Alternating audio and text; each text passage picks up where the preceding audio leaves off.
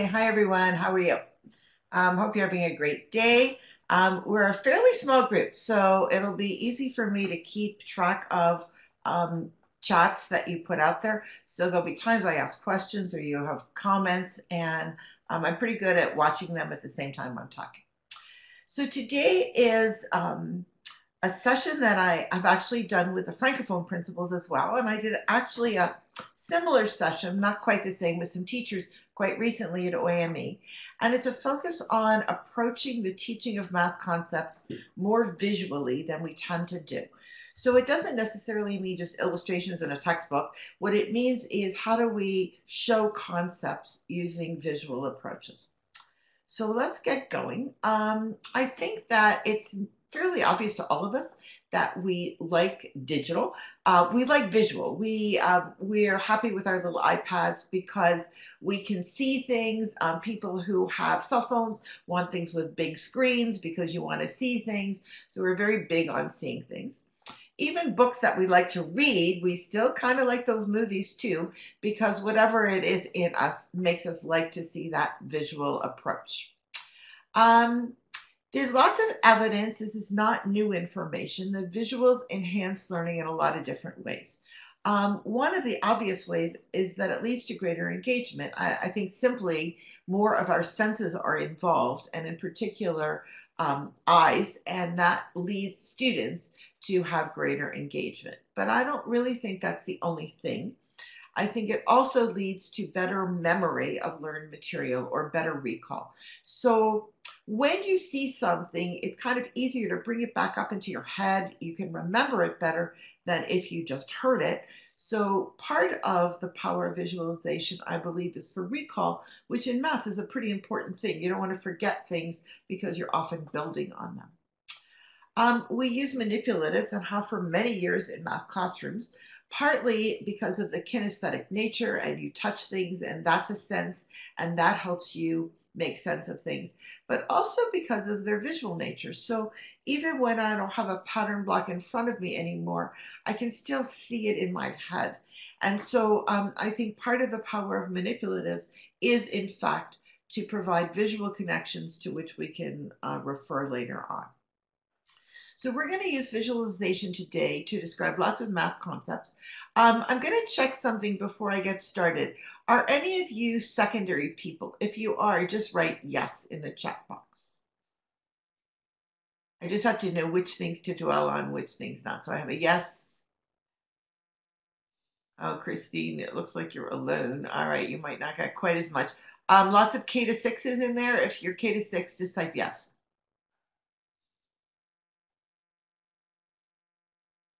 Lots of yeses. Okay, Kate eight. Okay, great. So I'll do some secondary, Christine. Don't panic, just maybe a little bit less. Okay, so this is all good. Kate eight. Thank you. All right. So um, one of the things about visualizing concepts is not new. This is actually in our Ontario curriculum in grade eight. It's called the Pythagorean theorem. And a guy invented this quite a long time ago. And what he said is if you look at the squares on the three sides of a right triangle, the two little squares fill up the big square. So using visual approaches to mathematics is certainly not new.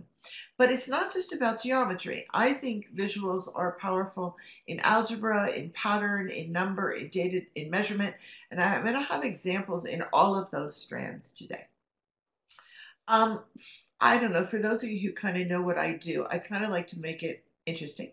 Um, so we will try to use provocative, provocative in a good way, visuals, things that initiate conversations, and we'll use some of those today um, to lead to those rich math conversations. So here is a picture, and this picture is comes from a book called Eyes on Math, and you'll see that there's a little girl named Megan, and she's counting one, two, three, four, five, six. The que- there are two questions there, but I only want you to look at the first one. Which ants do you think Megan already counted? So this is a chance for you to type in your chat box. Which of those ants do you think Megan has already counted? So she said one, two, three, four, five, six. Thank you, typers. So some of is the outside group or off the grid, so in the white section, makes sense. uh, the ones off the cloth, the ones outside the mat, leaving the cloth, off the tablecloth, the ones off the tablecloth, starting the ones outside the mat. So you're a very agreeable group. You're all thinking similar thoughts. Ah, but Jeff said something else. So this is good. So Lisa, no, there is not a right answer, and that is the point. So one of the things is that often many of you would say, probably I would too, that it's the ones that are off the mat because there's six of them and they feel special. And so you think it's those six who count.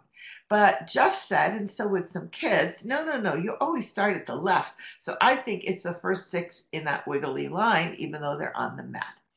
And the truth is, there is no right answer. And when I said that's the point, what I was trying to say is if I were working with kindergarten or grade one kids and I wanted them to realize that you can count in any order you wish, as long as you make sure you count everybody once, then a, a slide like this is dramatic enough for us to have that conversation and that conversation to be memorable. So it's not like in passing, I say to kids, oh, yeah, you can count in any order. This is like big stuff.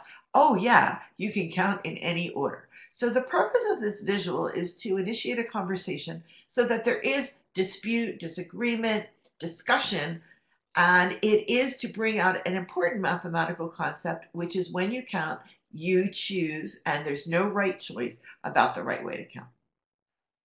Okay, here's another picture. Um, this one is more junior-ish, uh, more late primary.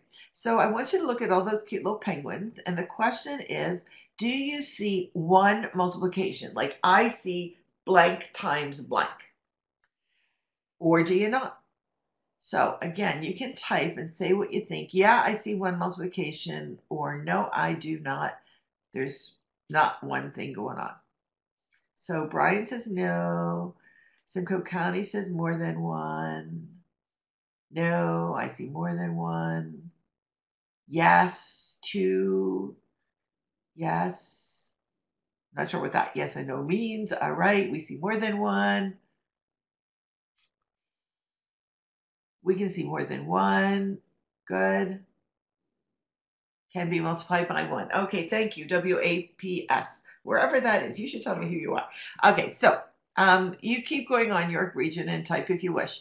Um, the question is, we, we actually have a disagreement here. So I'm going to propose that disagreement in a math classroom, although it is novel because we used to all say the same thing all the time, um, is that um, it's good because there are different perspectives. Um, that's what critical thinking is all about, by the way, that there's different perspectives and kids see them. And so, from one perspective, I completely understand why people said no. They said, I see two.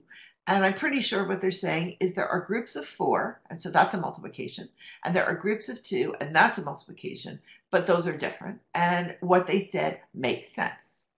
But um, somebody says you can be but there's only one. I believe there's 36 penguins. So someone could say, I see 36 groups of one, and that person is right. And that's a single multiplication, 36 times one. And I think any picture is that single multiplication. Um, other people might say, I could split all the big icebergs in half and there would be lots of groups of two. I think it would be 18 groups of two. So I see 18 times two. Other people see the little icebergs and think, oh, yeah, I could stick two baby icebergs together. Then I'd have two extra groups of four, and then I could say there's nine groups of four. So it's not about who's right and who's wrong, because they're all right and they're all wrong in a way. Um, it's about that you can look at things in different ways. And this discussion helps students really focus on, oh, yeah, multiplication doesn't necessarily mean that the groups are already equal. It means that they could be made equal, perhaps. And that's a whole important discussion about what multiplication is all about.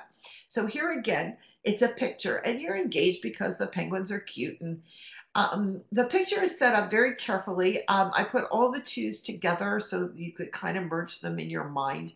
So the idea is that the visual kind of prompts an important math discussion. Um, this is another picture. Um, this is also in Eyes on Math. And you, uh, I'll tell you that all the bags have marbles in them, and that if the bag is labeled 100, it has exactly 100 marbles in it. And my question to you is Does the top part have more marble, marbles or does the bottom part have more marbles? And are you sure? So that's the most interesting question. Are you sure? So um, let's see what you say about whether it's top or bottom and how sure you are.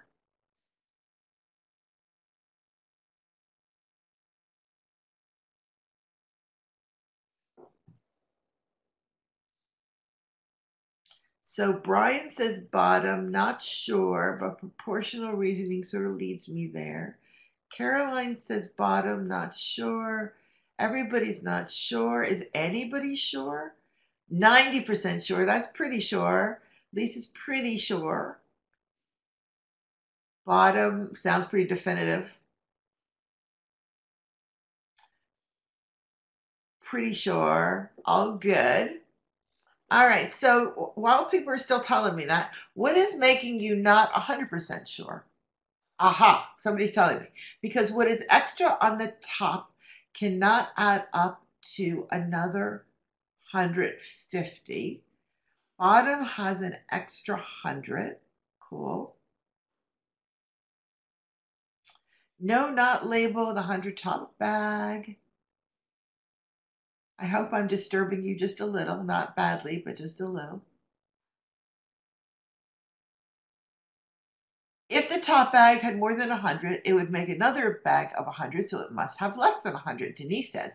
So if the top bag has less than 100, I'm thinking Denise is pretty sure that the bottom is bigger, but Caroline realized oh, the size of marbles could vary, impacting the numbers in the unknown bag. So this is like fabulous. So this is exactly, exactly the discussion I want to have in a class. Um, you're, you're, we teach kids something in place value. You keep typing, I'm watching. That says that um, if the hundreds digit is more, it's a bigger number. This, this picture is supposed to evoke the idea that if you make the assumption, which you don't have to make, but if you did, that those two other unmarked bags have less than 100 because they look sort of less than 100. And if you assume that the marbles are the same size, so they really are less than 100, then you know for sure, for sure, that the bottom has more because that big top extra fat bag is not even enough to make another 100, and you already have the other 100 in the bottom and extras as well. But a lot of you raise, raise these other points. But what if, um, you know, like, did I mislabel it? Maybe the marbles are little or whatever. And I think that's a healthy discussion. So at the end of the day, I want kids to be thinking, well, if all the marbles were the same, which I did not tell you, but if they were, and if you could look at the bags and use reason and say, well, those two smaller bags can't be 100. Then you know for sure, for sure about the bottom. But if I don't tell you all that stuff, you don't know. I think this is a healthy discussion because I want kids to know that in math, often we tell you stuff, sometimes we don't. Sometimes you have to ask for stuff to be sure of things. And this cute little, easy little picture both captures the place value concept we want to teach, but also captures the idea that we're always making assumptions and should we make those assumptions and are they good assumptions to make? So you guys were asking me about all those issues, like are they the same size and all those kinds of things. And all that is exactly what we want to have in a classroom. We don't really want someone to say, well, if it says 400, it's more than 300, end of the story. We want a bigger discussion. Um, the group from Peterborough is saying it could be more. I'm waiting to hear more from you.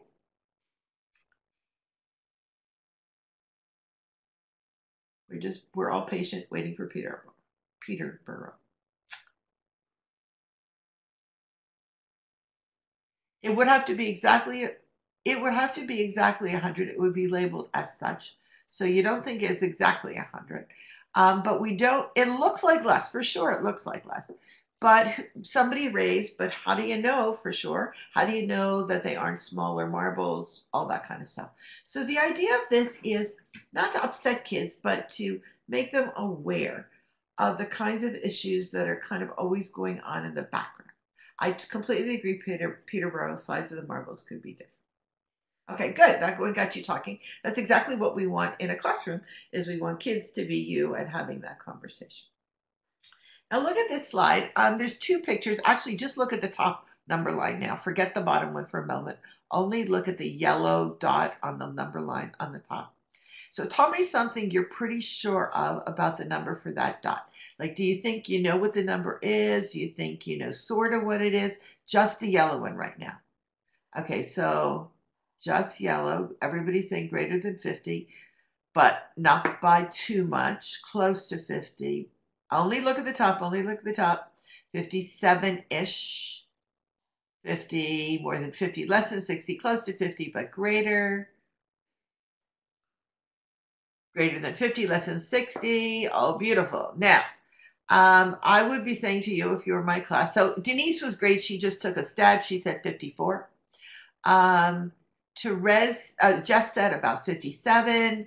Um, Simcoe County said about 55. Um, well, there are units in a way. I just haven't said what they are. Um, 25 represents 25 units, whatever those are. 50 represents 50 units, whatever those are. In fact, you have a sense of the size of the unit because there's 25 of those units between 25 and 50. And that's what you guys are actually using when you say things to me like around 54 and around 55. You're intuiting the size of the unit and applying it from the left to the right where the yellow dot is sitting. So I would like kids to learn from the picture, only the one on the top right now, that um, if you use a number line, you can't be exactly sure, exactly. It's kind of an estimate. Now, you might argue if I had put little tick marks there, it wouldn't have been an estimate. But even mathematically, a tick mark is an estimate because it's fatter than a single point. So when I have two numbers, I can make a pretty good estimate about what another number is. I can't be precise. That's what I want to come out of number line one. Now look at number line two and pretend the top line's not there. So the 25 is gone. It's not there anymore. All you can see right now, I should have animated this, but I didn't. All you can see is the line with the 50 and the red dot. Nothing else is there. My question to you now is, what do you know about the number for the red dot and how sure are you? So Jess thinks harder to be accurate. Denise says more than 50. Brian is completely unsure. Uh, Peterborough says greater than 50, greater than 50, 51 maybe.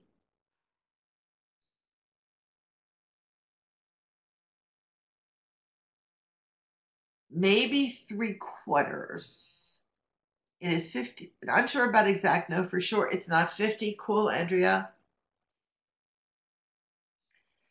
If standard number line, the greater 50 is all we know. And I think I'm with you, Janice. Greater than 50 is all you know. So I'm going to say that because there's no more reference points, which is what Therese is saying, um, that indeed we have no clue at all. That red dot could be 51. It could be 50 and 1 thousandth. It could be 1,714,218. Weird, but possible. Because I gave you no scale because I only gave you one number. And when you said um, I didn't give you information, essentially you're really saying I gave you no scale. So I'm watching you typers, so keep typing. Um, so I want kids to learn from number line number two, something different than number line number one. Um, we do, I think we know that it's not less than 50 if it's a standard number line. Um, so we do know it's more than 50, and someone said it isn't dead on 50, and I think we know that too. But we don't know how much more than 50 it is, whether it's a teeny bit more or a giant amount more, because I didn't give you a scale. So it turns out having an, a sense that two numbers gives a scale you're right, YRDSB. I didn't say it's standard, and I did say if it's standard. And so if a kid said, well, it's not standard, I would just say to the kid, so like, what do you mean? And he might say to me, or she might say to me, it's a backwards number line. And if they do, you're like, you're totally happy and you entertain their thoughts. So the notion here is, again, letting people see things different ways, but there is a mathematical idea hovering here. And the hovering idea is that you need two numbers to make a scale. And that's sort of why the second line gives me kind of a different concept thing than the first line actually gives me. Okay, so number lines are pretty important. So these to me are pretty important concepts. Okay, here's a different picture. Very simple. These are meant to be analog clocks. Um, just in case you can't tell, my artistic skills are not that great. Um, in the first clock, that's supposed to be an hour hand, and in the second clock, that's supposed to be a minute hand. And my question to you is which gives you a better idea about whether or not school is over, and why is that? So we'll see what you say.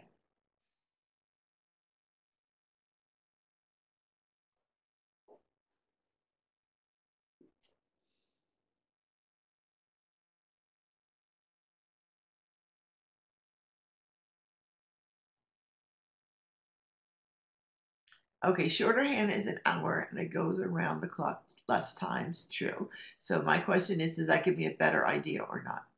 Click on left because the hour is evident. Clock on right indicates approximately five minutes past, but could be any hour. The left hour is a better predictor. The hour hand and the minute, as the minute hand happens every hour. One on the left. Left clock if we were in my school. That's cute. Hour hand. Could be 1 a.m., could be morning. And then you're like, YRDSB? you're kind of snooky today. That's cute.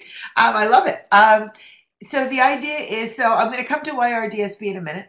If this were during daylight, um, most of you are saying, I think the hour hand is giving me more info because it looks like one o'clock ish and if it's one o'clock ish, I kind of do know if school is over or not. But YRDSB says something cute, which is that it could be in the middle of the night, 1 a.m. And then I don't know, then I I kind of thought school wasn't over when I thought it was PM, but now I'm not so sure because it was AM, so I'm kind of confused. Jess is doing all kinds of probability stuff. That is so cool. Um, one in 12 chances versus Help me read that other one. Okay. 19 and 24, I think she's saying. It would be it wouldn't be AM because who is at school at one in the morning? Well, hopefully none of you. I'm hoping. Yeah. So okay, you guys are having fun. So the idea is, um, so the mathematical concept I'm interested in is gotcha.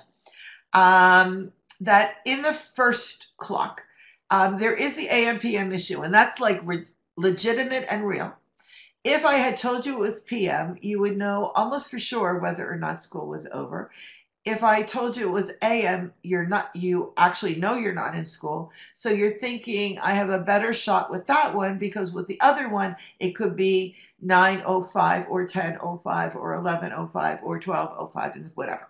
So here's my game. My game is this is an opportunity for me to practice with kids how to read clocks, which is obviously in the curriculum and one we want it's not meant to be probability, but it sort of is probability in a way.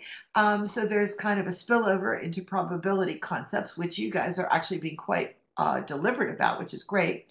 And then the other part of it is the real concept I'm after, the main concept I'm, I'm after, is that the minute hand carries kind of less information than the hour hand. Because the hour hand secretly includes the information from the minute hand. So when I look at an hour hand, if it's one o'clock, my hour hand is dead on one. If it's two o'clock, it's dead on two. But if it's 1.30, I can also tell because it's halfway between one and two. So if I want kids to really pay attention to what a clock looks like, this is a way to get the conversation going, to get the engagement going, to get ideas happening so that when I'm more specific and more deliberate and more telling than I am here, they'll kind of know what I'm talking about because we've already been through this whole conversation. So you can see how simple the visual is, and it led to a pretty good conversation. Okay. Um, here's another one, and this time we're going to have a vote. Um, you can look at the slide and you can see that somebody flipped a coin seven times so far and got seven heads. My question is, what will happen next? How sure are you? So either you're sure of heads and you click heads, you're sure of tails and you click tails, or you're not sure and you click not sure, or you might not vote, but hopefully you'll vote.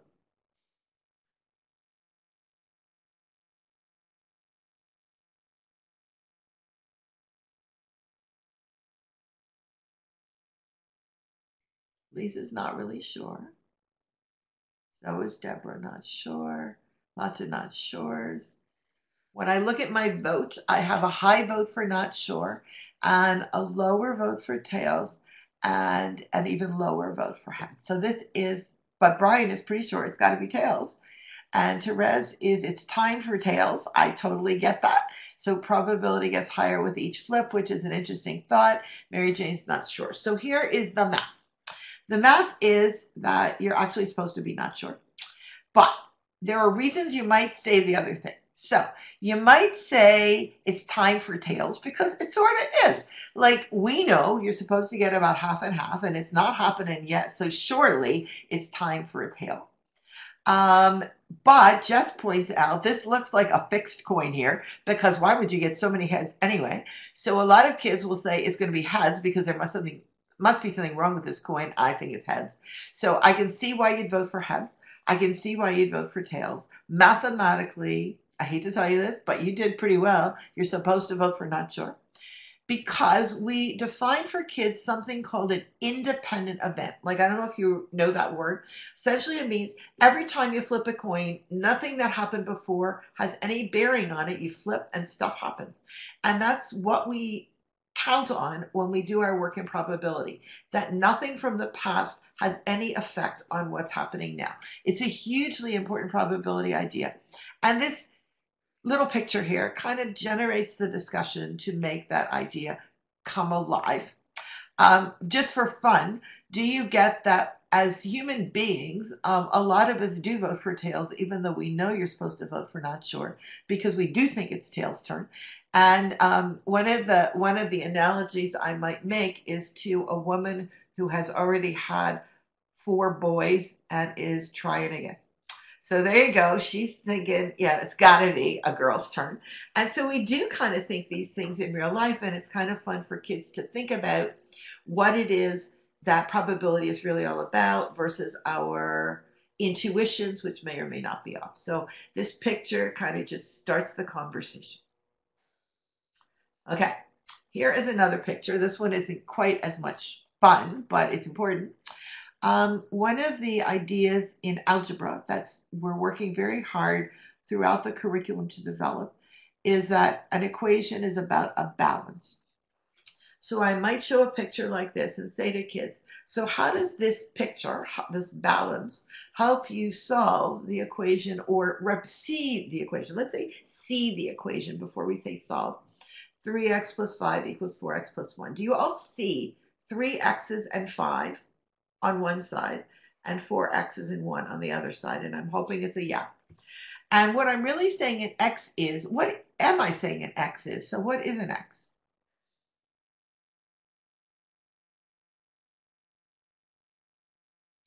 X represents um, the bags, and in particular, it represents how many counters are inside the bag or how many linking cubes are inside the bag. And it is definitely something that we don't know yet. It's an unknown quantity, and we're trying to figure it out. Perfect. Perfect. So the notion is if a kid had a balance like this, what could you do to see if it really is a balance? Well, right now it looks good, but I don't know how many are in the bags. So you would set up a similar kind of balance with empty bags. And you'd put one in each bag. Does it balance? Like it doesn't look good or it does look good. And I try two and I try three. And the idea is what I'm really saying is if I can make it balance, I solve this equation. So this could obviously be done kinesthetically with a real balance, but this picture is helping kids like see this in their mind so that when they see an equation next time, a picture like this pops up in their mind. Um, this is a little fancier. This is more grade eight-ish. Um, so I need you to know that this, this was a right triangle and I was just too lazy to put in the right angle symbol. Um, I hope you can see that there is a small green triangle that is stuck on top of the big yellow triangle. And my question is, um, how could you describe the length of the long yellow hypotenuse, the slanty line, but the long one? Two different ways.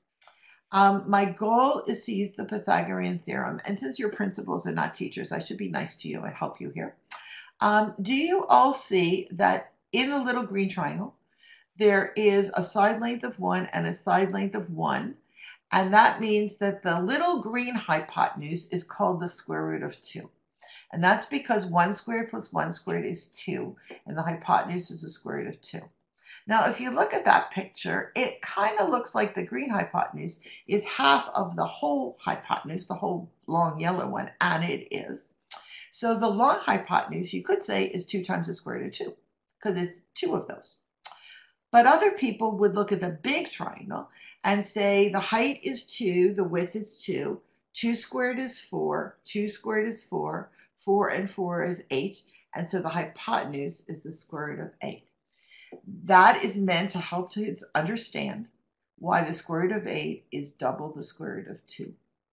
And it's a visual way to see it instead of just a calculator pipe, you know, putting out numbers and you say, okay, sure, okay.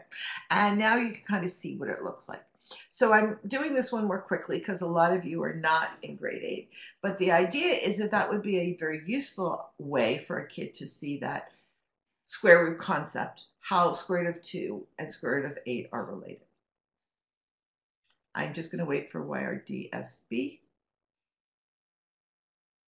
Yes, this is an eyes on math as well. No, this one isn't. Sorry, I forgot. Yeah, if it if it looks like it's um, a screenshot, it's eyes on math. I won't tell you every single time, but lots of these are not. Lots of these are just visuals I made for this presentation.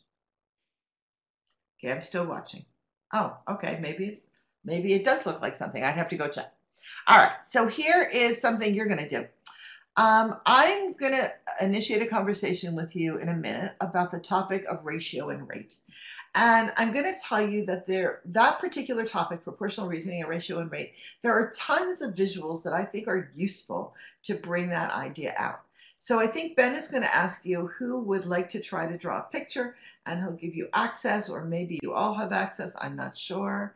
So Ben, what's happening? Right now taking the access away. So if anybody wants to put their hand up, if you know how, there's the little guy on the top left there where you can just click and go hands up. Or simply as Marian was doing before, if you just want to type draw. Okay, Jan- Janice, Janice, whatever it is, here you go. I'm going to give you drawing and go ahead. Hopefully others of you too. We're not just waiting for one person.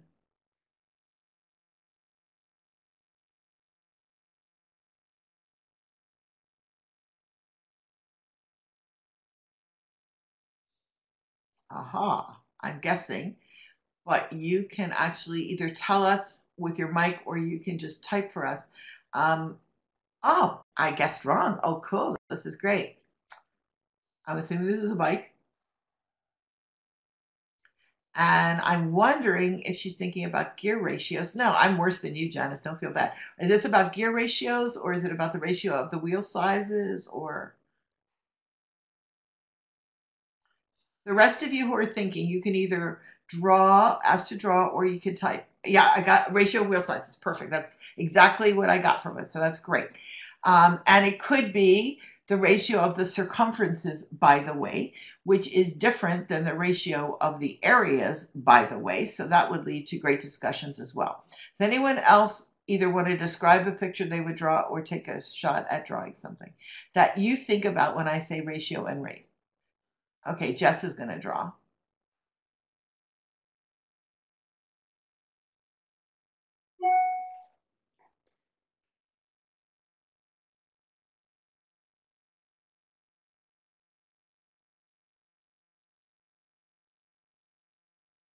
But Jess is typing instead.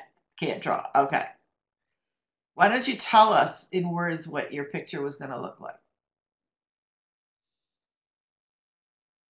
A four to one. Um, it'd be interesting. Four to one of what?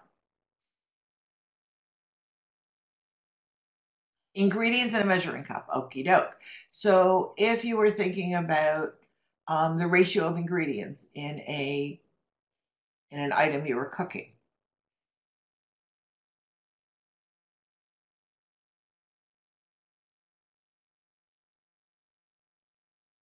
Just can. four tablespoons to one cup. Perfect. Now, four tablespoons to one cup is a pretty interesting rate or ratio.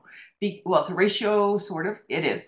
But because tablespoons and cup are different units, so you might say it's a rate, and then we have to talk about what that is. Map with a scale. Beautiful.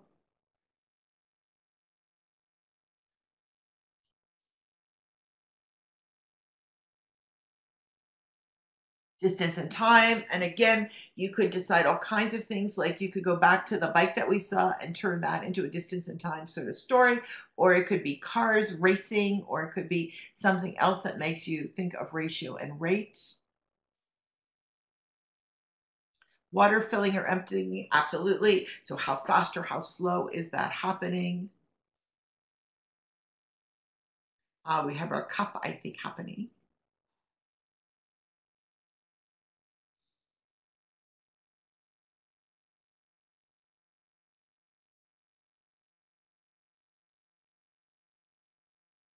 Slope, certainly when you're in grade nine and you're getting more, um, uh, but it can be the slope of a ramp and it doesn't have to, or a skateboard slope. It doesn't have to be sort of grade 90 kind of slope.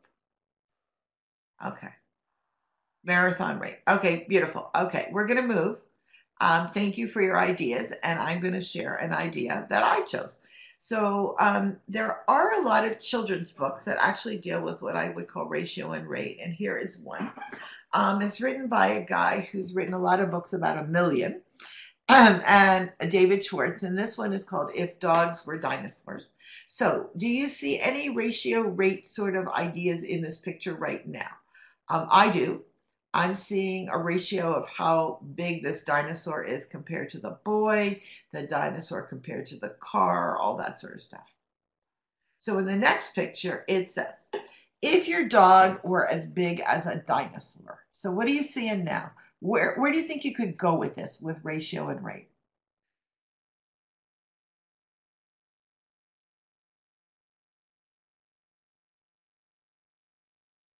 I agree with you, Simcoe County. That's good.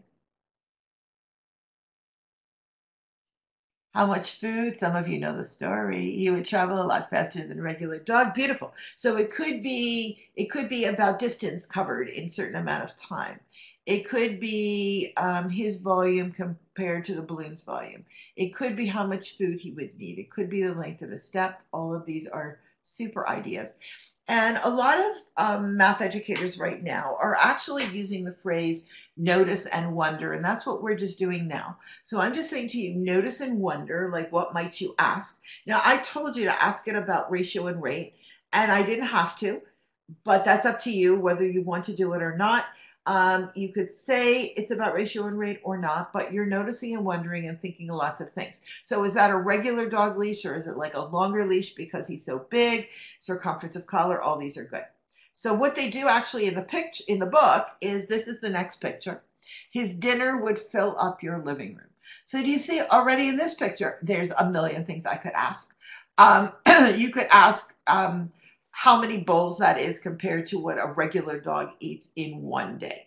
It could be what part of the living room is filled up, and that is that an area question or a volume question? Like we could figure that out. You can see part of the dog's face in the window, so there's obviously a lot more dog than we're seeing, and so we could talk about what fraction of the dog's face area we're seeing in the window. Um, you could certainly ask how many bags of dog food you would need for this dog in a day, in a month, in a year um, versus a normal dog. Um, you could certainly ask how many of those little kernels are going on his tongue, how big is his tongue. So there's so much you could do with a thing like this. So ratio and proportion um, has so many possibilities for visual presentation. Um, and given that in Ontario, we've had a big focus on proportional reasoning, which is what this is, this is good news for us. It means that you could use lots of visualization kind of tasks to focus on a very important mathematical concept, ratio and proportion. Okay. Um, one of the things that we could consider when we're thinking about visual presentation of mathematical ideas is presenting the problem visually or the student solving the problem visually. So I've actually been sort of presenting problems to you visually. And I haven't shown you so much solving them visually. We'll do that as we go forward. First, we'll look at presenting visually again. Um, I have created a sort of a number line, but I'm missing a lot of it. There's just the one end that says one and the other end that says a thousand. And there are these five boxes in the middle with bunnies in them. So my question to kids might be, on which numbers might the bunnies be and why did you pick those numbers? So why don't some of you give us a suggestion about what numbers you think those money bunnies might be on and why you think that.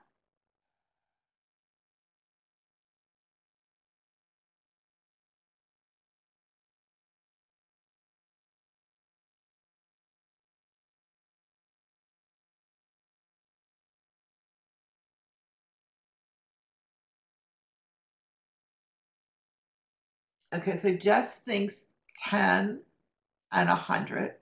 And I would ask Jess if she were in my class to explain why she picked 10 and 100. So, Jess, if you have the energy to do that, that's fine. If you don't, don't sweat it.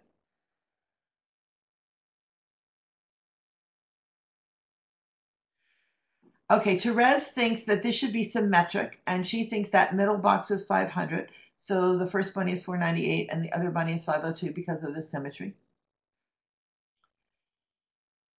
And you're thinking 10 and 100 because you're thinking, well, that's how it goes. We talk 110, 100, 1,000. And if you said that to me, I would be happy with you, but I would say, what would you call the middle boxes and see what you would say then. Um, Therese has an answer for the middle boxes. Mary Jane's is 3 and 999 because the arrows could represent 1.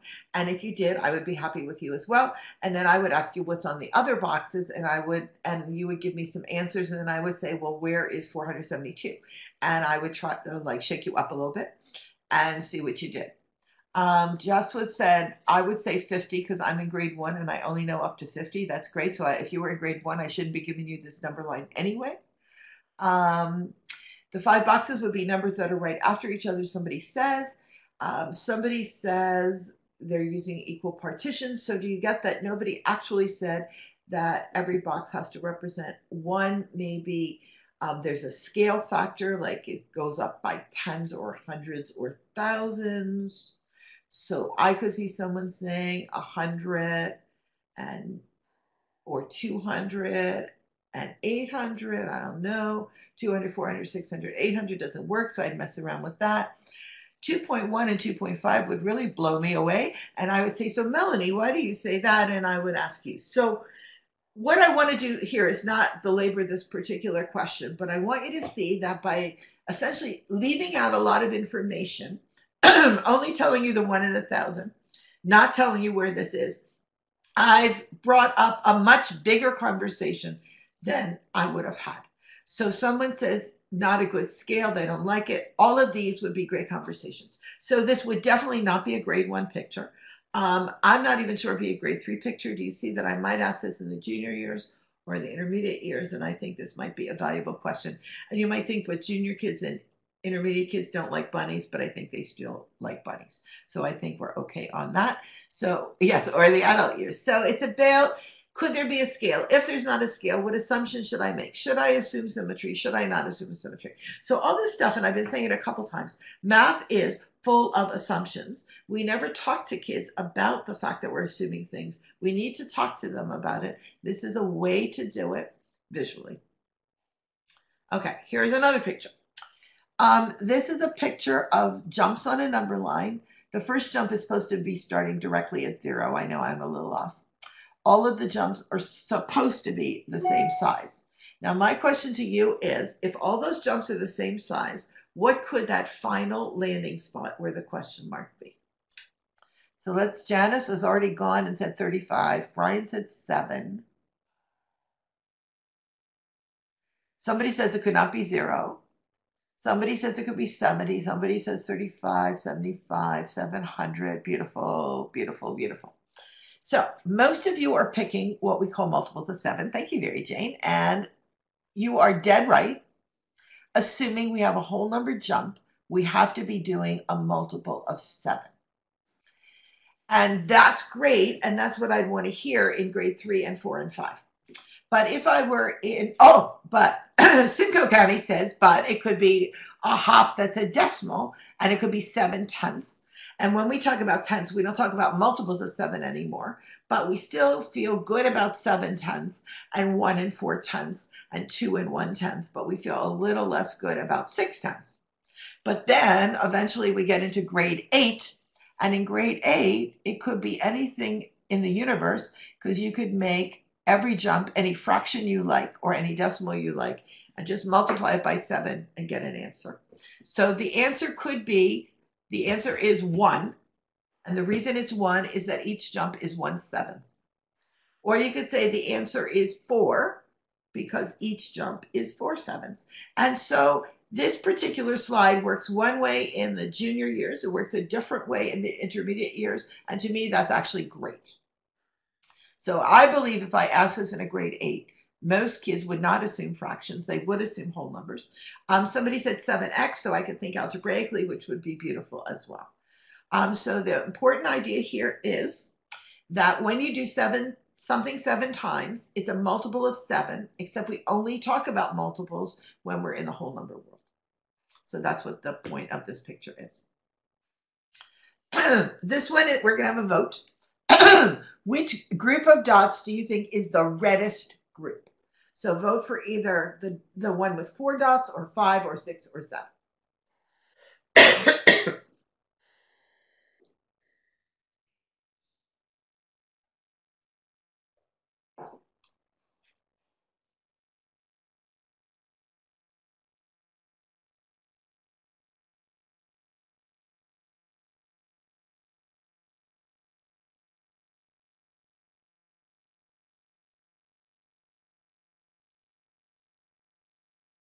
Okay, I'm, I'm reading this, the chats too.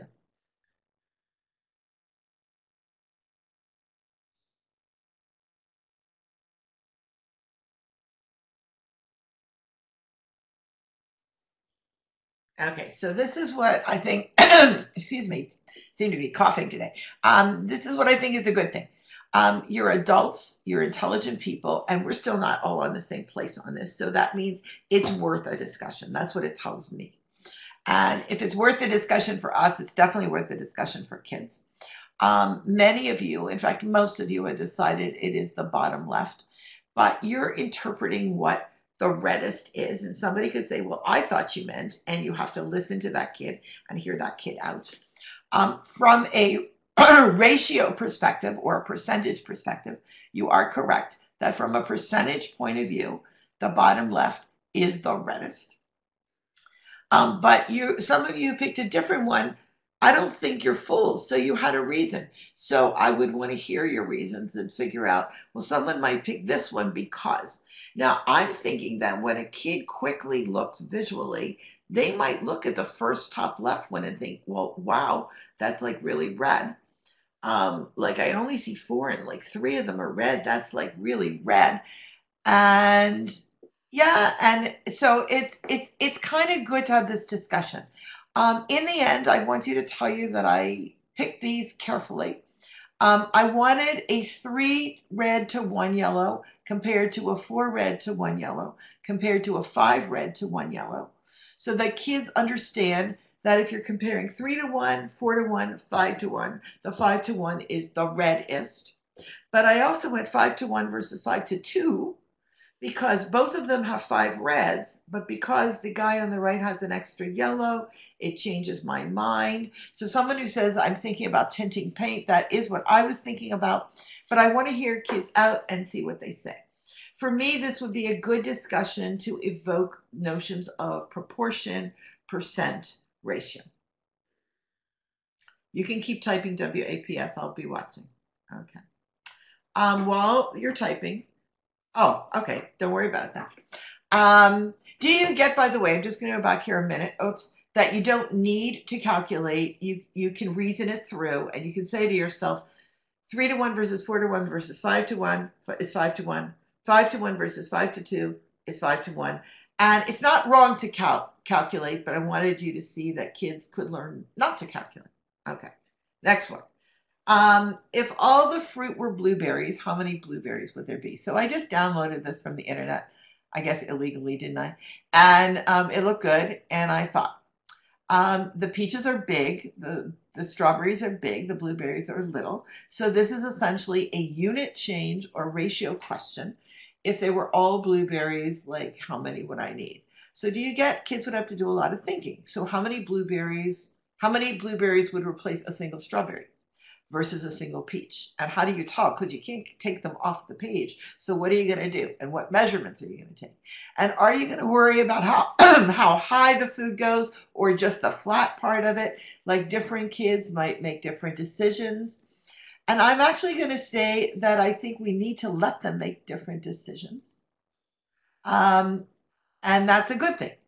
And making different decisions is actually what I want to happen. I don't want to say to all kids, and these are the factors that you should take into account. Like, I want you to think about this, and I want you to think about this, and I want you to measure this, and whatever. You want to give them space to make all those decisions. Okay, I'm waiting for the typing. Does the whole space need to be covered? So I'm letting you decide. We are debating area versus count, and I'm going to say I'll let you decide. About five for every peach, about two and a half for every strawberry. And if Therese said that to me, I'd say to Therese, like, where'd you come up with those numbers? Oh my gosh, Denise has done a lot of work already. And it's all cool. And so what you're doing is you're mimicking a classroom. So some of you are just like hanging back. And some of you said, I did a visual estimate. And I'd say back to you, so like, tell me more. Like, how did you come up with this five blueberries for every peach or two and a half for every strawberry? And Janice would tell me. And what I really want is for kids to have the opportunity to make their own decisions and explain themselves. So when you ask me, should you cover everything? That's a good question because right now you can see some of the white. And the question is, if you had blueberries, maybe you could cover it better and you wouldn't see any of the white. And that's a good question. And she's a some, what about inside the cake? And so some people will do inside the cake, some people won't. So when I talk to teachers, one of the things I frequently say, and I continue to say, and I'm not changing my mind, is that we need not to tell the kids exactly what to, all the constraints are. We need them to decide on what their constraints are, solve the problem based on their constraints, help kids see that if you have a different list of constraints than your other friend over here, you might have a different answer, and that's why.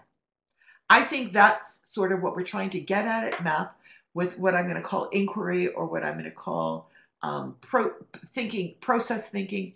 And I think that when we try to tie it all down, we work against ourselves. Someone's using a weight measurement, like I'm cool. Beautiful. Thank you. All right, next question. Um, I'm just going to talk to you about this one. I do seem to be talking a lot, right? Um, this is Pythagoras again, but only it looks different. So this time, instead of putting squares on the sides of the triangle, the right triangle, which is yellow. I put triangles on the sides of the tri- of the sides of the triangle. So is that okay too? Like, are the two little areas in total the same as the big area? That could be a conjecture, an investigation, and you can decide yeah or no. Um, just in case you're curious, the answer is yeah. Um, if they're all what we call similar triangles. I was trying to draw equilateral triangles, so I think in my case it's actually true, but this is something kids could explore. Um, this is a little video. It's pathetic but cute. And so we're going to let Ben play it. It has to do I with yarn. how much yarn I'm Keep going. I'm going to need to cover this whole sheet of paper. I think that's 22 centimeters. Hmm. Hmm. Hmm. Okay. Pathetic but the point comes across. Um, when you turn one dimension, which is a line, into two dimensions, it's remarkable how much linear stuff you need to cover an area. So I'm going to ask kids, how much yarn do you think I'm going to need? Is it meters? Is it kilometers? If it's meters, how many? If it's kilometers, how many to cover that entire sheet of paper?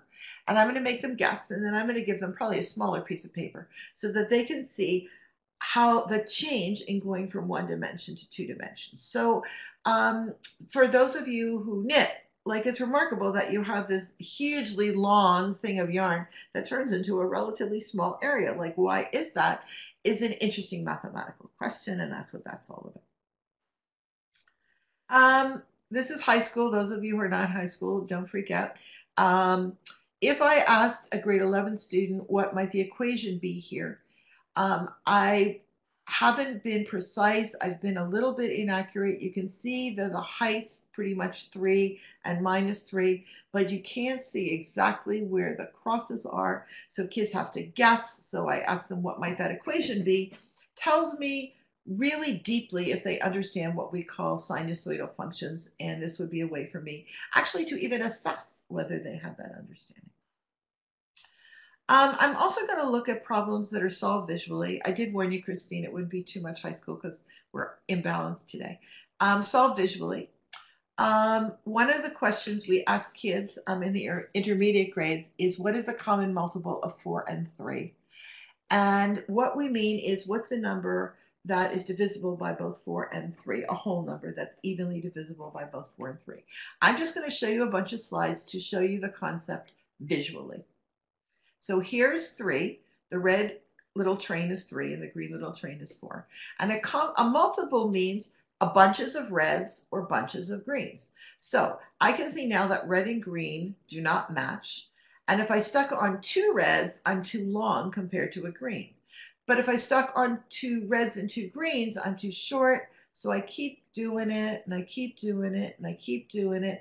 And magically, at some point, and I think it's called 12, my trains are the same length because four trains of three actually match three trains of four. This completely helps kids see what do you mean when you say common multiple. It's like, oh, that's what it is. And they actually can see what it looks like. I'm waiting for Peterborough.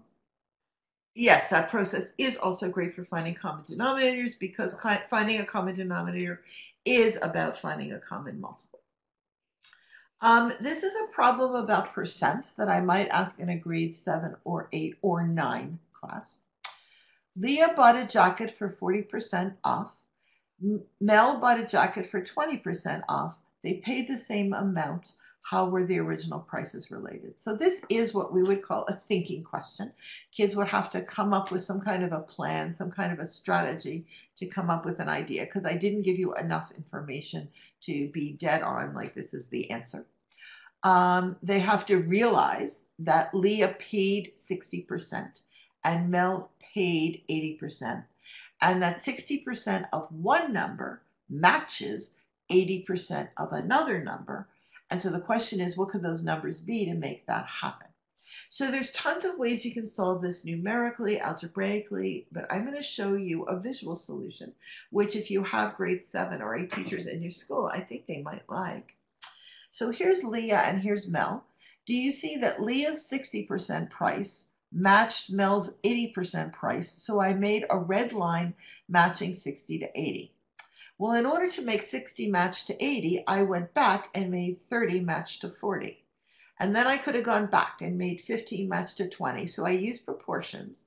And then in the end, my question is, what does Mel's 100% match on Leah's? And can you see that the one price must have been 75% of the other price because the 100 matches the 75? It's a very, very cool way, and I did it way too fast for you to take it all in, so you can think about it later, of showing relationships between percents and showing them visually on something we call double number lines. And these are very powerful for kids. So the, this is a concept. It helps you see if 60% of a guy matches 80% of another guy, this only works if 75% of the guy matches 100% of the other guy. So that's what these number lines are all about. Um, here's a problem that you might solve in a, an intermediate or a high school classroom. Um, these are the problems we used to call artificial, and I guess they still are artificial, except they're not that artificial. And it's kind of interesting how they work. So here's the problem. Jane's mom was 28 when Jane was born. She's now four and a half times as old as Jane. I'm sure you can all remember these problems now. How old are they both now? And so there are algebraic ways of solving this equation, and you can solve them algebraically, but I'm not gonna. I'm gonna look at it visually. So this is what I'm gonna do. I'm gonna show you Jane as a little stack of two cubes, and I'm gonna show you mom as four and a half stacks, because mom is four times as old as Jane. So I'm representing the idea visually of what does four and a half of something look like. And now you can probably guess why I made Jane two cubes tall because I couldn't have shown the half otherwise. So then I say to myself, so if that's Jane and that's mom, remember the only other thing we know is that mom was 28 when Jane was born. So mom's extra stuff must be the 28 because that way, as Jane has grown older, mom's grown older, and that's the gray stuff. Mom had that extra 28 on Jane. You can see that there are seven cubes worth 28. Oh, yeah, I think that must mean each cube is worth four. So Jane must be worth eight and mom must be worth 36. And it turns out that's a solution to the problem. So it's solving a problem visually rather than algebraically.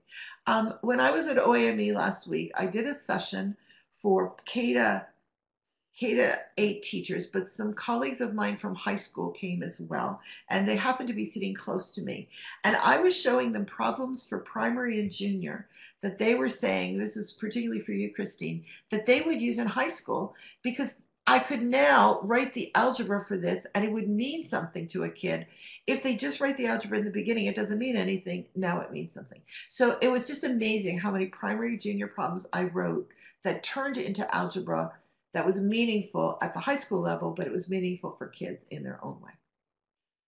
All right, so my question to you is um, how might you encourage your teachers to see the power of visuals in math?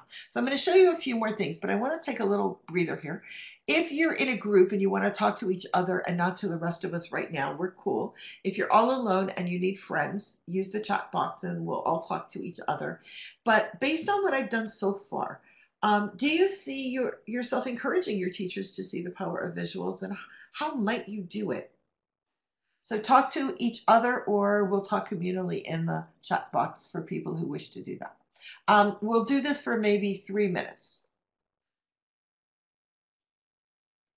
Then you can keep me on track for three minutes if you don't mind.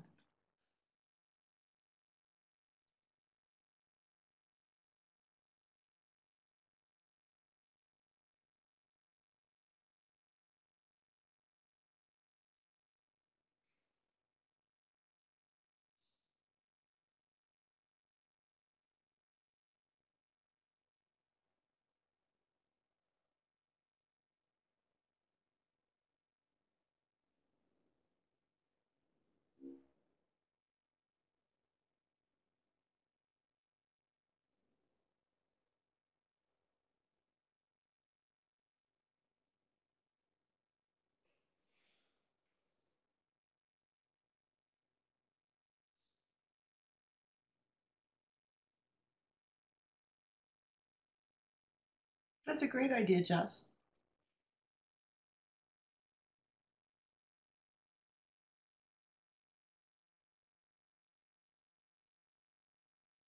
I think, Brian, you're right that starting where they're at and not like throwing it from nowhere is pretty important.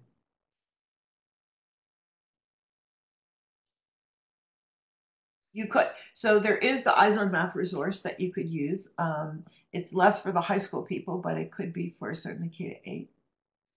Um, demoing is a great idea. You could find something that you like that I showed you today that you might demo. Good. Therese? I think you're right, WAPS. I, I don't know how to who you are, I'd say it better. Um, that that you actually teachers have to live it themselves a little bit too. Um, so that's what you're doing today, and my experience has been the same as yours. That okay, hi. Um, that in fact um, they need to see it themselves to see how powerful it can be. Um, a staff meeting, open the idea of no finite answer, good. Go plan and co-teach. Now, when you say authentic tests, again, it, you're you are really seeking authentic tests. I you saw that I downloaded some pictures from the internet, some pictures from visuals, so there are places you can get these things. Do the math we want the kids to do for sure. Okay, classroom walks to find our favorite visuals in the school is great. And then it's like, what do they have to do with math? It might be even interesting to ask kids what they think it has to do with math. Of course you can borrow. That's part of the deal. Okay, three minutes. We're, we're, we're moving on, guys. Sorry. Um, we're going to have one more time to talk about those things, but this is a first one, and then we'll talk some more. I just have a few more things I want to show you in the time we still have together. So we are going to move on to the next slide. I promise we're coming back. Um, building connections. So um, mathematics has lots of connections in it, and I think visuals have opportunities there too. This is a picture I might show a grade one student or two student or kindergarten student and ask them if they see addition or subtraction or both. Um, and I think we're not going to get a universal answer that's the same for all kids. Um, Simcoe County says they see both. And if a kid says, I see this or I see that, that's great. And I would say back to them, so tell me what addition you do see or tell me what subtraction you do see. And they would talk to me about more of that. Um, Shanti is typing as well. Um, I think I've done this with kids, and some kids only see addition.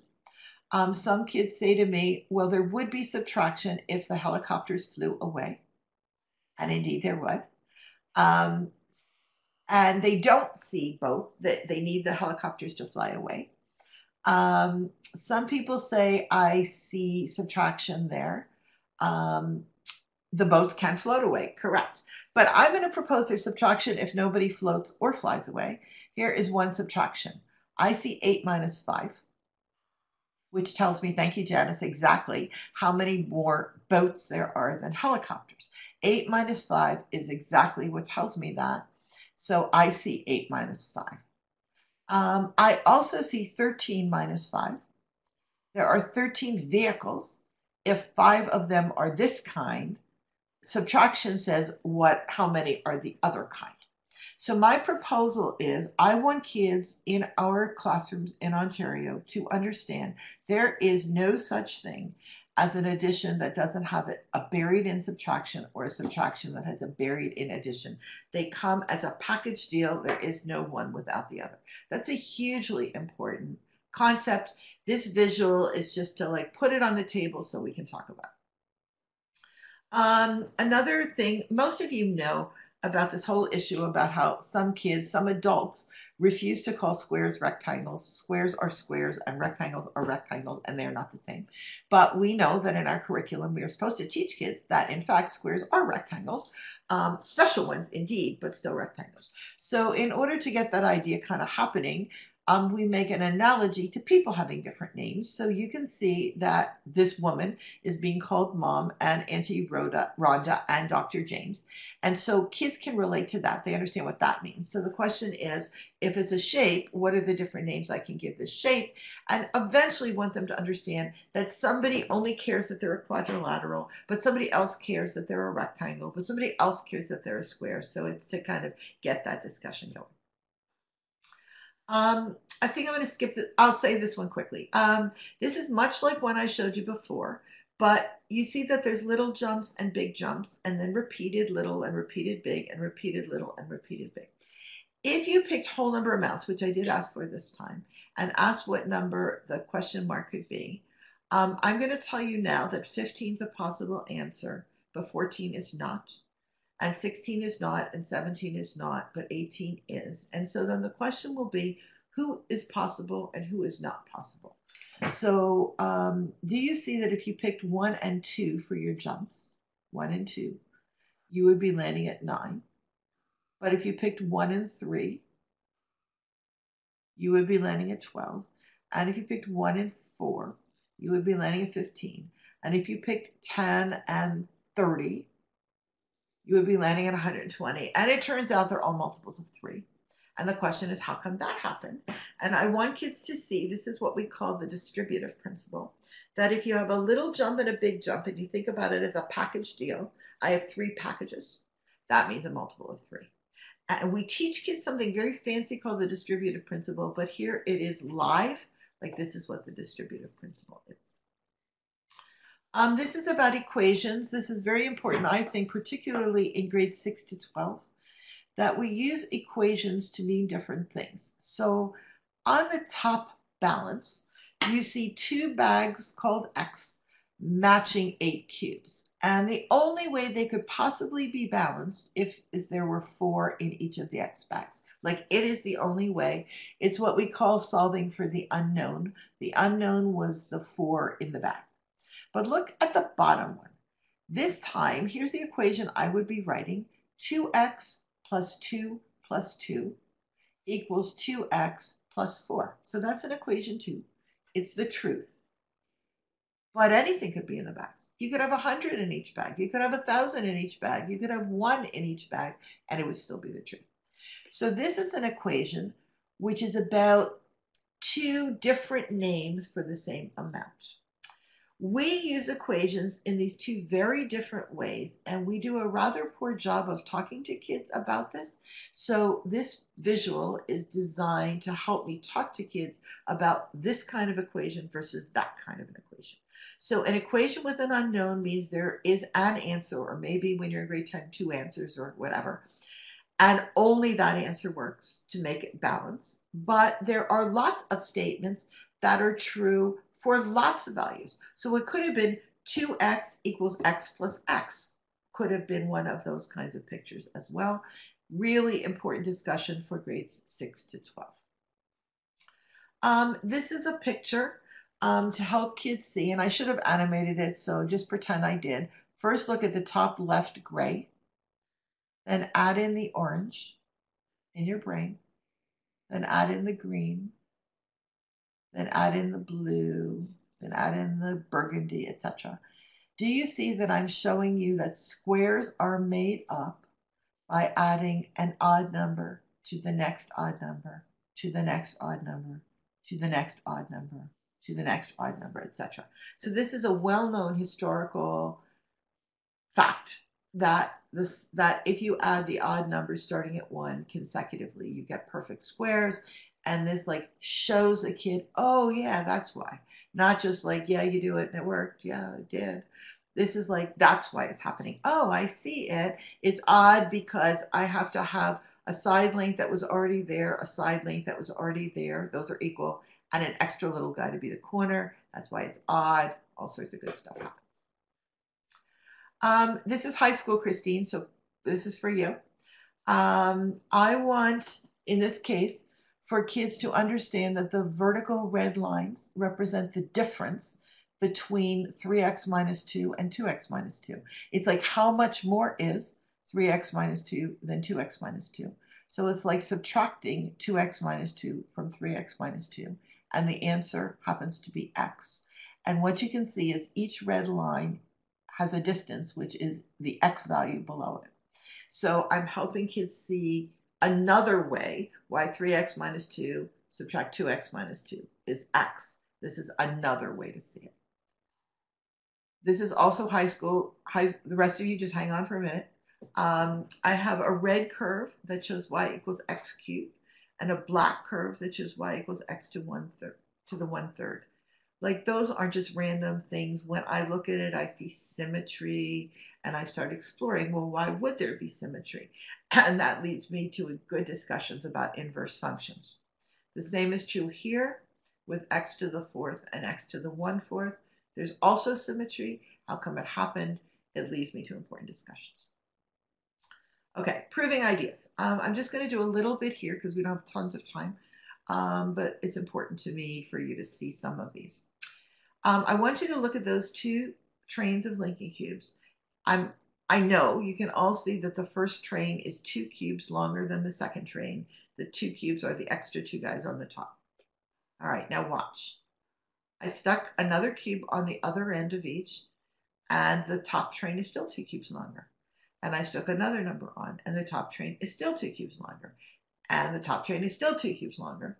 And what I want kids to know is that if you want to find the difference between two numbers, which does mean how much longer is one than the other, then you can increase both of them by the same amount and it won't change the difference. So when I had it back here, you were looking at 2, 4, 6, 8 minus 6. And here you were looking at 9 minus 7. And here you were looking at 10 minus 8. And they all have the same answer. And I want kids to know that if I were subtracting 53 minus 29, I don't like that.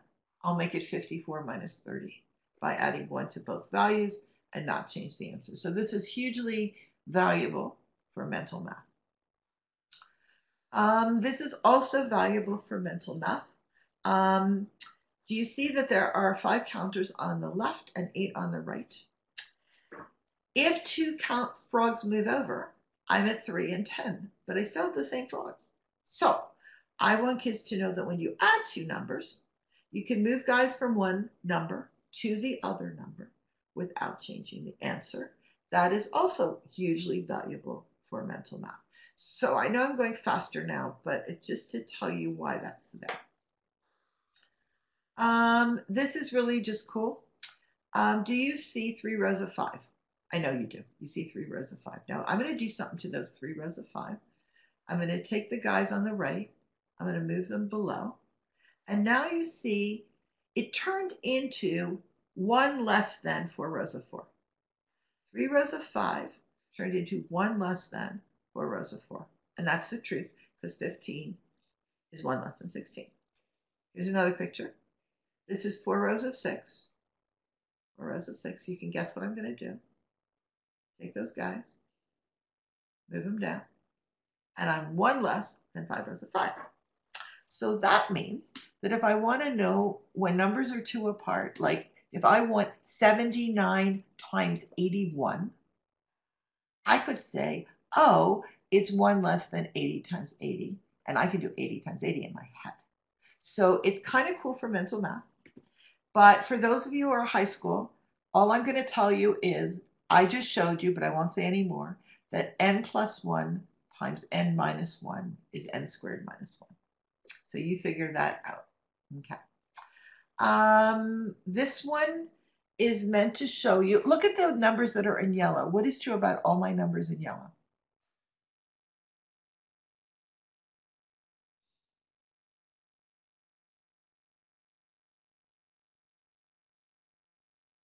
Indeed, they are prime numbers.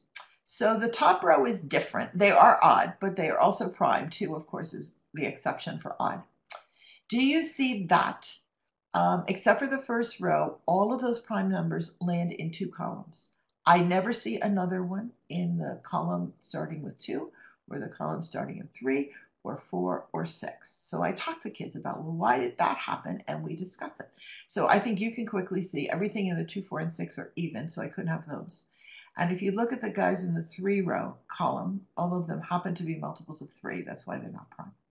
So this is a way of visually seeing why every prime number beyond two and three is either one less than a multiple of six. That means it's in the five column or one more than a multiple of six. That means it's in the one column. So it's a way of seeing another mathematical truth by just setting up my hundreds chart in a call in six columns instead of 10. Um, we're skipping this one. Um, do you see here quickly that when I wanted to add 2, 4, 6, 8, 10, and 12, it was smart to put the 2 with the 12, the 4 with the 10, and the 6 with the 8, because now it's 3 14ths. And I would leave that as an initiation into the next question. Um, this is a picture. This is very old like old meaning that like I didn't create it, it's been around a long time. Um, that shows why if you stick a pink half with a pink quarter, with a pink eighth, with a pink sixteenth, with a pink 32nd, with a pink 64th, that eventually you'll have a whole pink square. And that's why the sum of all those fractions is one, which is a sophisticated high school idea. I'm skipping this one. I'm going to just show you this one. Um, uh-oh, something happened. Um, what kind of, oh yeah, what kind of picture might prove something about the sum of any three, go ahead, Ben, I'm sorry, about the sum of any three consecutive whole numbers. So think of three numbers that are in a row, like four, five, six, eight, nine, ten. Um, what could you draw that would help you see something about those answers? Actually, Ben, take it away. We don't have enough time. I'm going to let it go. And I'm just going to do it because I'm worried about the time. Um, do you see that those look like three consecutive numbers? Gray is tiny, one more than yellow. Red is one more than gray. What I'm going to do is stack them. And do you notice that the stack is the same as the stack of three grays? So let's try that. 10, 11, and 12. When you add them, you get 33, which is 3 11ths.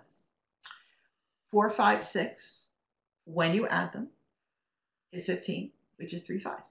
So it turns out that if you had three numbers in a row, you always get three of the middle guy. And that leads, by the way, to algebra in high school, but it leads to just fooling around with number relationships in the younger grades. Um, you might ask kids to represent virtually every problem they meet with a math picture. So I'm going to call it a math picture to say that I don't want them like making beautiful like elephants and trees because then they get all involved in their elephant or tree and there's no more math happening. Um, I want them to represent objects with simple little shapes or dots or lines so that the picture gives them insight into relationships, not the actual objects.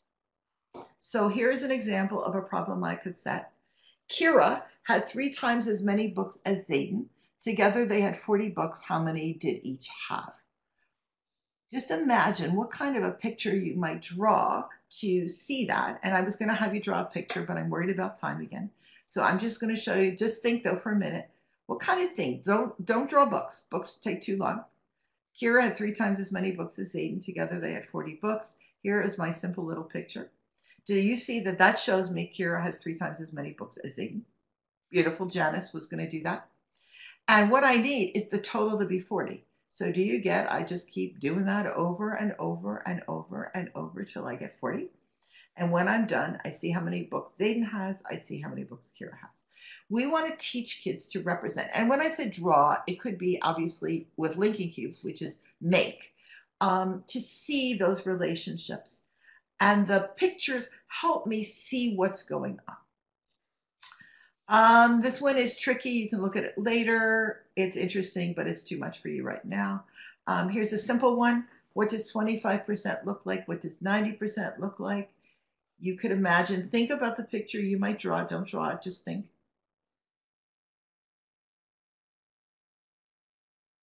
I'm betting most of you are thinking of 25% as a quarter of something and that most of you are thinking of 90% as most of something. And that's exactly what I want out of kids. So here is my quarter. So do you believe that the white is a quarter of the yellow?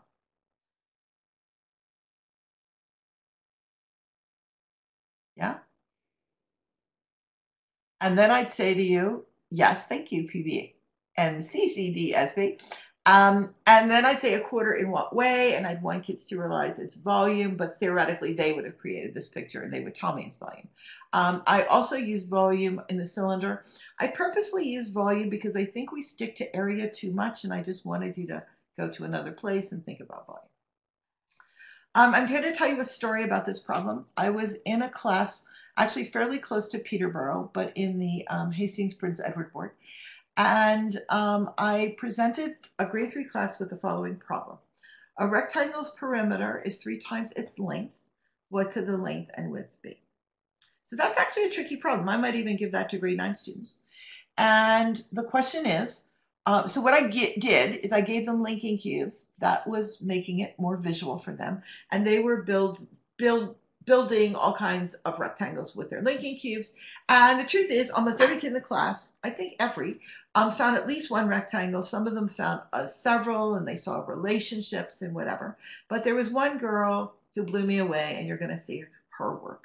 So this is what this girl said to me. She said, See that set of sticks up top? She said, That's my length. And she just held up a set of sticks like that, uh, of cubes, and said, That's my length. And she said, So three of them is my perimeter. Yes, correct, Janice. And three of them is my perimeter. And so she realized if the perimeter is three times the length, it means if the length is one stick, the perimeter is three sticks. All of you want all of your kids to know this, and a lot of kids don't. So then she said, So this is all you do. So she took two of the sticks and put them horizontal, and she had her third stick. And I think you know what she's going to do because she has to make a rectangle. She split it in half she moved them. And she said, see in there, that's my rectangle. It's six by three. Janice said two to one. Six by three is two to one. I asked this young girl, did it matter how long her stick was? She said to me, no, as long as you could break it in half. it was a kid all of us would die for to have in our class. It was amazing. She used visuals to prove an algebraic concept. Um, this is something I did with kids a bunch of years ago. I asked kids to help me create a glossary for a book. And here are a couple of the entries I got. These are two of my favorites. So it would be interesting for you to say to your kids, like if you were showing a picture that showed multiplication, like what would your picture look like? If you were showing a picture that said prime number, what would your picture look like? So these are examples. Um, so I wanted to end, and that's why I rushed to give you a little bit of time for us to say, I think today I've used visuals to introduce conversations, set up problems, build connections, prove, and communicate. Um, where do you see the power? Do you see it more for one of those than the other? Do you see it for all of them? Like, what are you seeing? So there is a chat box, and we have just a few more minutes, but I'd be delighted to chat with you.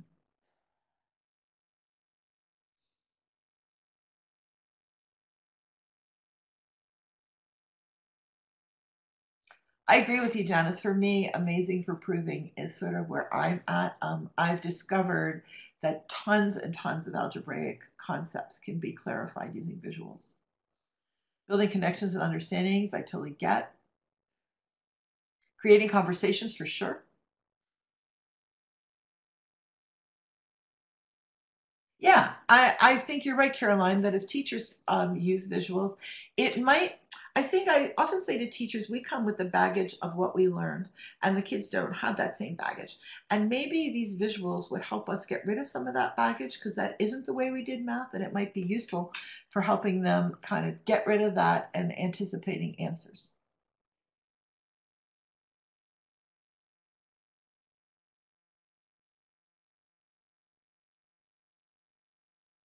Yep, I think all students will have an entry point with a visual. They can at least tell you what they're seeing. Um, and because they're talking, you are getting insight into their thinking. Um, certainly, some of the visuals I used were everyday life, not all of them, but obviously you could use more visuals that were everyday life.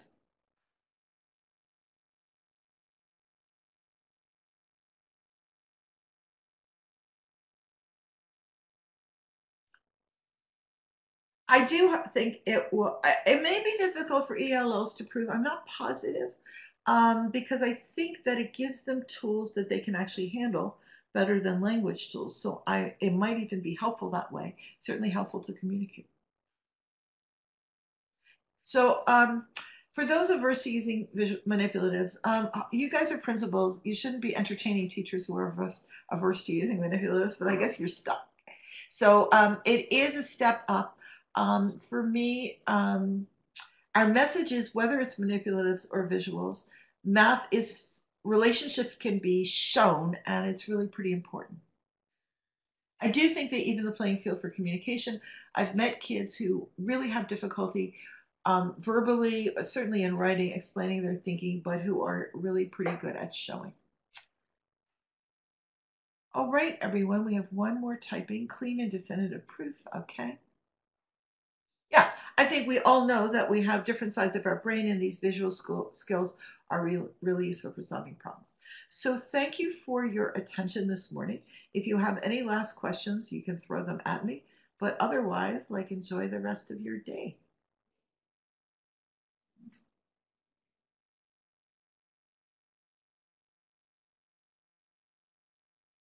You're more than welcome.